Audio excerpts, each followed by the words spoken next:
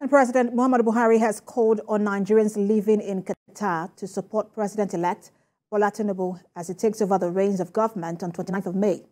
Speaking at a town hall meeting as part of his visit to Doha, President Buhari said his administration set forward to embrace credible, transparent and fair elections, which continues on Saturday for the governorship and state assembly elections.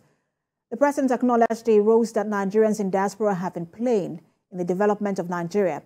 in his remarks, the Nigerian ambassador to the state of Qatar, Yakubu Ahmed, congratulated Buhari